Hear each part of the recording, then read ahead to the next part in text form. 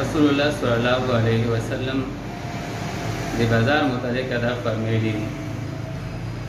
یو بازار ته صحیح نو سحر سبعی کې ما صحیح لا لیټ صحیح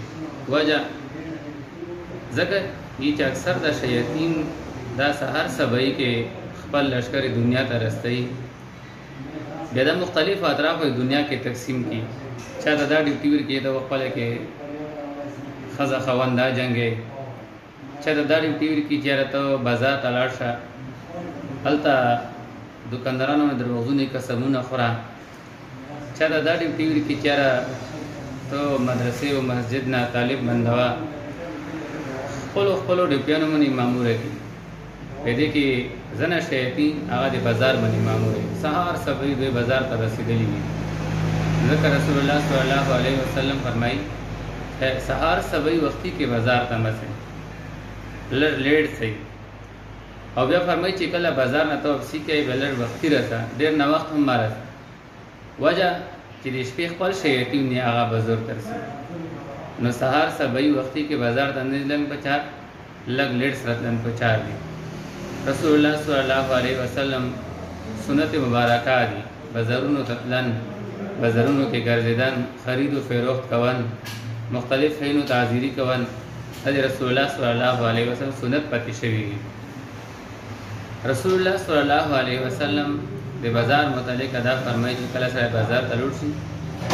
نو یو خدای شي چې د خپل نظر حفاظت کوي ځکه چې بازار کې انسان ته مختلف قسم ته شیونه ملوي چې هغه انسان یو غلط روخ ته تړون غوړي یو خدای سره خپل نظر حفاظت کوي بل رسول الله صلی الله علیه وسلم د بازار متعلق دا فرمایي یو شی د خستونه درې زویا ریټ چیک کوا چې دلته څه قیمت ده دلته څه قیمت ده دلته څه قیمت ده کوالټي چیک کوا هغه نه بعد چې کوم شی ته پسند شي کوم شی ته د خوښ شي هغه باندې تخپل رضامندي اظهار کوا بل رسول الله صلی الله علیه وسلم د بازار متعلق ادا فرمایلی چې کوم سره بازار ته لوټ شي نو بازار کې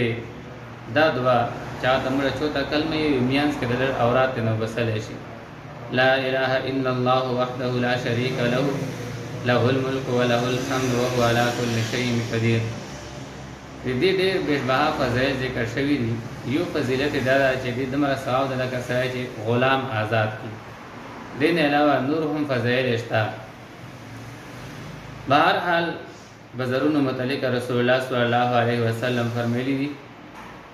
چې دا هم دیو د ادب ځای ده دلته انسان د خپل مزاج مطابق هر څه شی ګوري په انسان ته بده کې دا کتن پچار ده چې سره د خپل من پسند شای خلی هغه د انتهایی تسلی کوي رسول الله صلی الله علیه وسلم نه مختلف اوراد نقل شوی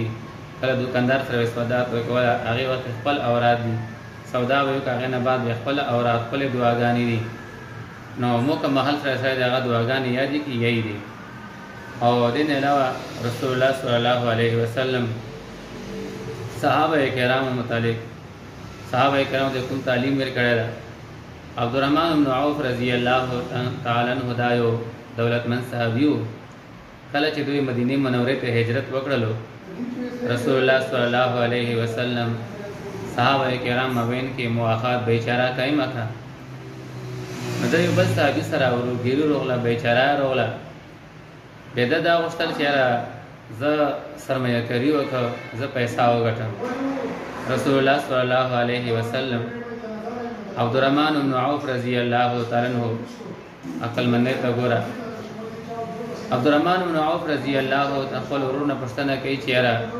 بازار شي ته اتی دسه دسه مختلف دلته بازار ده د ډیر کم ریټ نه کاروبار شروع کو موږ اکثر خلک یو نه چیرې کاروبار یې چې شروع کو چې ته نه شروع کو کاروبار د کم پیسو نه شروع کیږي بیا غټو پیسو ته سي نو دلته د ستو اوړه په غړو کې ولړې هغه نه بعد د خوراک قابل شي دا شای شروع کو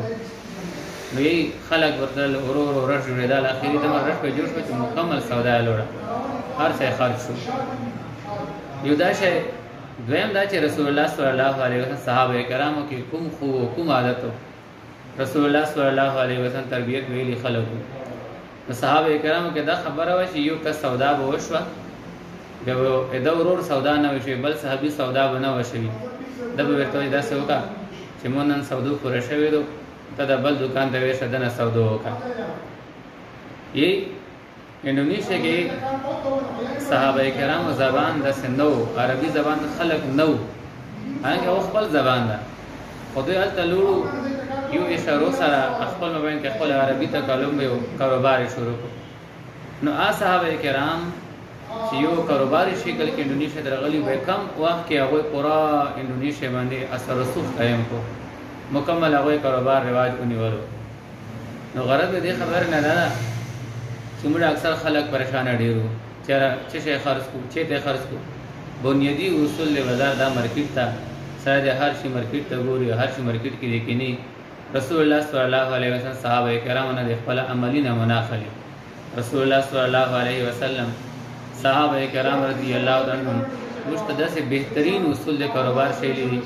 چې که صاحب هغه باندې عمل کوي صاحب کله هم غربت تسلیم وي سره ځای نشي حضرت علی رضی الله تعالی نو هغه صورتحال وګوره عمر فاروق رضی الله د صورتحال وګوره عمر فاروق رضی الله تعالی نو دورو دلته یو کس چې هغه خرید او فروخت کولو بازار نه اوله حصے کې نوستو ډیر کم ریټ باندې مارکیټ ریټ نه سامان خرڅولو عمر فاروق رضی الله تعالی بازار کې کمبلنس او د مرزدو او شیونو خیر خبر وې خستو نو دته چې ته څومره باندې خرید دمره مارکیټ لري دمره عمر فاروق رضی الله تعالی نو خوړا وې تر سما کدای و وایو اته خپل ریټ مارکیټ ریټ سره برابر ساته